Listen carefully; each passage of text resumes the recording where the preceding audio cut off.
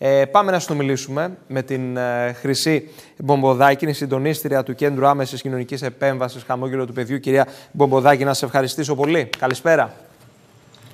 Καλησπέρα και από μένα. Καλησπέρα στην όμορφη ομάδα σας. Ε, ε, φέτος τα πράγματα θα είναι μάλλον λίγο διαφορετικά από άλλες ναι. χρονιές.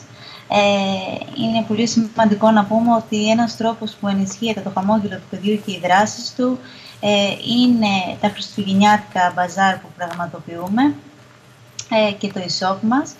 Αλλά δυστυχώς φέτος είναι αβέβαιο αν θα γίνουν λόγω της κατάστασης που επικρατεί, λόγω της υγειονομικής ε, κρίσης και έχουμε στοχεύσει περισσότερο ε, στο διαδικτυακά, με ασφάλεια.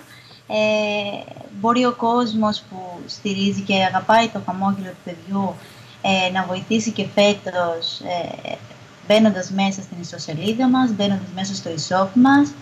Ε, θα βρει εκεί πολλά πολλά χριστουγεννιάτικα είδη, χριστουγεννιάτικες κάρτες, ατζέντες, πολλά δώρα, προσεγμένα πάντα ε, και σίγουρα σε πολύ προσιτές τιμούλες. Βέβαια, και είναι βέβαια και για καλό σκοπό σε μια χρονική στιγμή που το χαμόγελο του παιδιού θέλει βοήθεια.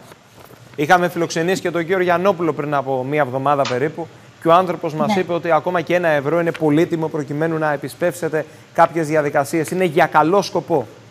Είναι για καλό σκοπό, όπως λέτε.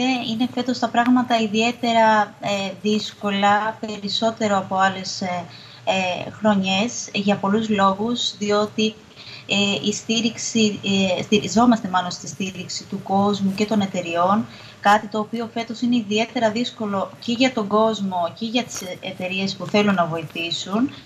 Ε, επίσης, το χαμόγελο του παιδιού έχει κληθεί να στηρίξει την κοινωνία και τα παιδιά που έχουν ανάγκη περισσότερο φέτος ε, και θα έλεγα ιδιαίτερα στον τομέα της ε, διαβίωσης, ε, παιδιά και οικογένειες που έχουν ανάγκη σε τρόφιμα και την πρώτης ανάγκης, ε, στο κομμάτι της βίας που ξέρουμε πολύ καλά όλοι μας ότι ε, αυτός ο εγκλισμός ε, μας έχει, έχει προκαλέσει και άλλα προβλήματα τα οποία ε, υπήρχαν αλλά τώρα φανερώνονται σιγά σιγά μέσα στα σπίτια, την οικογενειακή βία κτλ.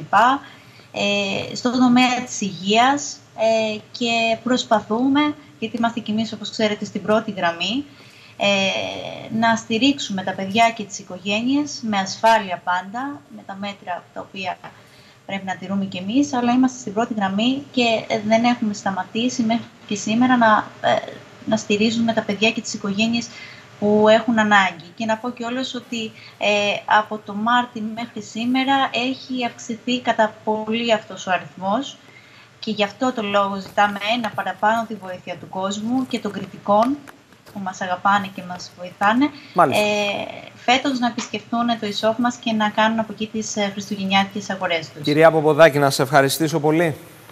Εμείς σας ευχαριστούμε πολύ. Να είστε καλά.